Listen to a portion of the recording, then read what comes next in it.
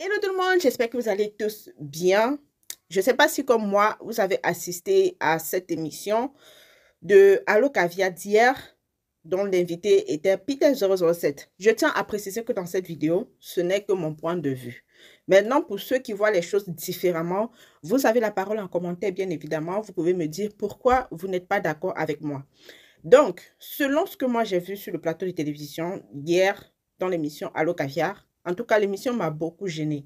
Quand j'ai écouté Peter 007 en train de débattre sur la vie d'Emmanuel Keïta, franchement, une femme avec qui tu as été en relation, une femme que tu as vue nue, tu viens sur un plateau de télé pour raconter ses intimités, sa vie intime, tu viens pour raconter tout ce que vous avez vécu d'intime ensemble. Franchement, l'émission m'a tellement gênée, je me suis dit, s'il fallait que je me sépare d'un homme et que demain, ce dernier va sur un plateau de télé pour raconter ma vie, pour raconter ce qui s'est passé entre nous, je ne sais pas sincèrement si comment je vais me sentir dans ma peau? Je vais me sentir tellement mal. Et puis, franchement, c'est ridicule. Moi, j'ai vu que Coach Amanchik essayait de rectifier le tir à tout moment. Elle essayait de rappeler Peter 007 à l'autre. Elle essayait de lui faire comprendre que voilà, ce n'est pas bon de dénigrer, ce n'est pas bon de raconter des trucs sur quelqu'un avec qui tu as été en relation. On est tous d'accord que euh, tout ce que Peter 007 a fait euh, pour Emmanuel Keita, c'est parce que ces deux-là étaient en relation. Ils étaient ensemble. Voilà. Quand tu es en relation avec quelqu'un et que tu es amoureux de la personne, Parfois, tu dépenses sans calculer. Voilà, tu dépenses sans tenir compte des tenants et des aboutissants. Tu dépenses parce que tu es amoureux, tu dépenses parce que tu as envie de le faire. Maintenant, lorsqu'il dit que voilà, il a voulu lancer un business avec Emmanuel Keita et que voilà, il a frappé 4000 euh, quelque chose d'euros, franchement, c'est un couple. On est en train de parler d'un couple. Et puis, lorsqu'on parle d'un couple, il s'agit de deux personnes amoureuses qui ont décidé de, deux adultes amoureux qui ont décidé de se mettre ensemble, fonder une relation pour avancer dans la vie. Maintenant, si à un certain moment donné, ça n'a pas marché, ça n'a pas marché, vous vous séparez, Bana, et puis ça s'arrête là. On a vu des audios qui sont sortis suite à leur séparation. On a vu tellement, on a assisté à tellement de choses que on était sûr que c'est fini. Parce que chacun était déjà passé à autre chose. Vous voyez, Emmanuel Keita aujourd'hui est dans ses activités. Peter 007 aujourd'hui, il est propriétaire de maison, donc il évolue aussi dans sa vie. Il a déjà une copine et tout. Donc, chacun avait, évolué, avait commencé à s'occuper de ses affaires. Donc, pour nous, là, c'était fini. Moi, personnellement, j'aurais voulu que Coach Amanchik se concentre sur le sujet du débat. Voilà, le mensonge dans le couple. Un peu comme Yaka Yaka est venu sur le plateau de télévision. Yaka Yaka portait des arguments fondés sans pour autant entrer dans la vie privée de qui que ce soit. Vous voyez un peu, je ne veux pas faire de comparaison de personnes, mais je fais la comparaison des débats. Est-ce qu'on se comprend? Je fais la comparaison des débats parce que quand le débat euh, avec Yaka Yaka était tellement constructif, il y avait des trucs à apporter, il y avait, on en tirait des choses. On en tirait des choses de ce débat-là.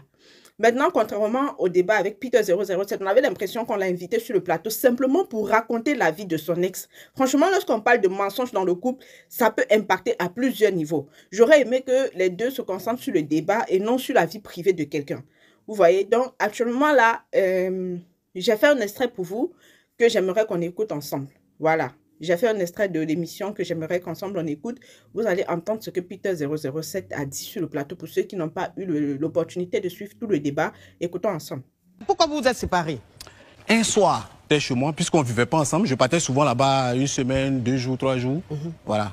Donc un soir, je l'ai appelé. Il dit, ça va? Elle dit, oui, ça va. J'ai trouvé qu'elle était un peu bizarre. Mm J'ai dit, on dit quoi, t'es calme, tu parles pas trop, tout ça. Elle dit, non, elle est un peu fatiguée, tout ça là. Bon, depuis le matin, tu étais à la maison, tu es fatiguée, je ne comprends pas. Mhm. C'était vers, vers 1h, 2h du matin. Donc j'ai dit, ok, bon, je te laisse dormir. Mhm. Mais moi-même, en tant qu'un ancien chef bandit, mhm. j'ai trouvé qu'il y a quelque chose qui n'était pas bon. Vous n'habitez pas ensemble? Oui, on ne vit pas ensemble.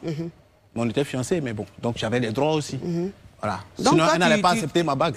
Tu rencontres une femme, trois mois, quatre mois, tu vas la fiancer C'est elle qui m'a obligé à la fiancer. Ah, Peter Oui.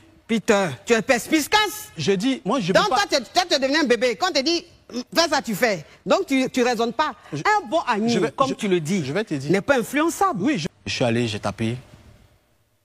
Non, d'abord j'ai appelé. Dès que je suis arrivé, j'ai appelé. Il ne faut pas y avoir décocher ou bien il ne faut pas y avoir ouvrir. Mhm. Parce que je savais qu'il y avait quelque chose qui n'allait pas. Mhm.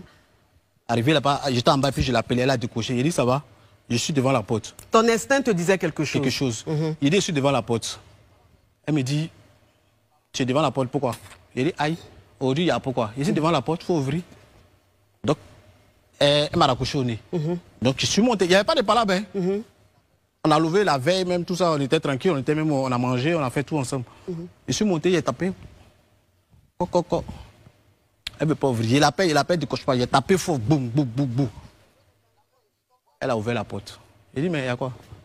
Ton cœur battait Mon cœur ne peut pas battre. Oh, ton cœur battait. Ah, arrête de jouer les dangereux. ton cœur battait. J'ai une sérénité. Mhm. Non, mon cœur battait. Ça me faisait un peu mal parce que je ne comprenais pas. et j'imaginais un peu. Il y avait déjà un film dans ma tête. Ah, ça, on appelle ça Goumen Non, ça, c'est pas un Goumen. Si, si, c'est depuis de Goumen. Non, après, après, on va arriver sur le niveau du Goumen. Ok. Aujourd'hui, on va faire deux heures. oui.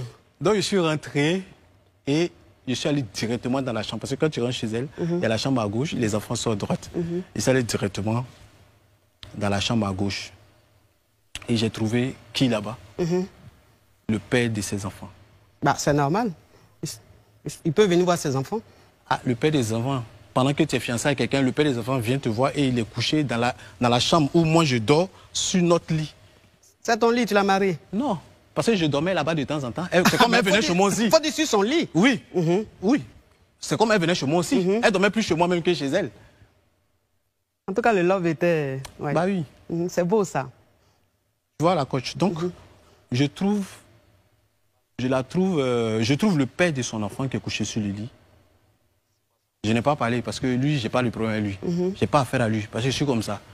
J'ai affaire à elle. Il dit, c'est quoi ça?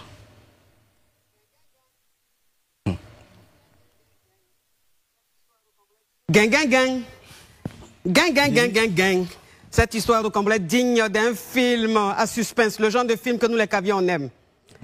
Le visage qu'il a pris sur le visage de quelqu'un qui, avait, qui a goumé, mais le goumé n'est pas encore fini. Il revient encore ça, oui. Je suis venu, j'ai vu le gars, je suis venu au salon. Et je lui ai demandé, le monsieur, il fait quoi ici? Mhm. Elle est tombée, elle a commencé à trembler encore. Hein?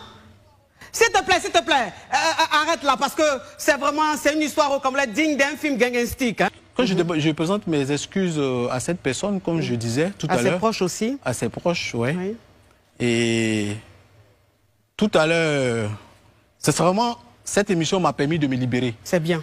Cette émission m'a permis vraiment de me libérer. Je dis encore merci mhm. au, boss Fabrice Aouillon. À moi aussi, c'est moi qui ai reçu. À la coach. Oui. À la coach, à toi aussi. Oui. non, sérieux. Vous avez bien entendu, vous avez bien écouté ce qui vient de se passer là. Peter 007 accepte l'invitation pour aller s'asseoir sur un plateau de télé pour tout mettre de sa dit pour tout raconter à Mondo Vision ce qui s'est passé entre son ex et lui. Ça dit que vous les filles, vous qui m'écoutez là, on sait tout ce que les garçons parlent souvent beaucoup. Hein. Oui, entre potes, quand ils se retrouvent à la Gola, franchement, est-ce que tu sais ce qu'elle m'avait fait, machin, truc? Entre eux, là, ils se racontent plein de choses. Mais aller sur un plateau de télé pour raconter la vie intime d'une dame que tu as vue nue, que tu as fiancée, et puis tu dis qu'elle t'a obligé à la fiancer. On n'oblige jamais un homme à fiancer une femme. Tu t'en vas raconter que non, c'est Emmanuel Keita qui t'a obligé à la fiancer. Depuis quand? Sauf si c'est un homme qui a été bassé, qui n'a pas tous ses sens c'est lui un peu obligé à fiancer une go. Sinon, un homme qui a tous ses sens, on ne peut jamais l'obliger à fiancer une fille. Est-ce qu'on se comprend? Donc, Peter 007, son objectif, c'était de salir l'image d'Emmanuel Keita parce que nous tous, on a été témoins de l'interview qu'Emmanuel Keita a donnée sur je ne sais pas quel plateau de télé où on lui a demandé de parler de son ex. Elle a dit elle préfère ne parler de personne. Elle préfère ne même pas, elle préfère ne même pas aborder le sujet même. Ça s'appelle du respect du respect envers la personne de son ex. Ça s'appelle du respect.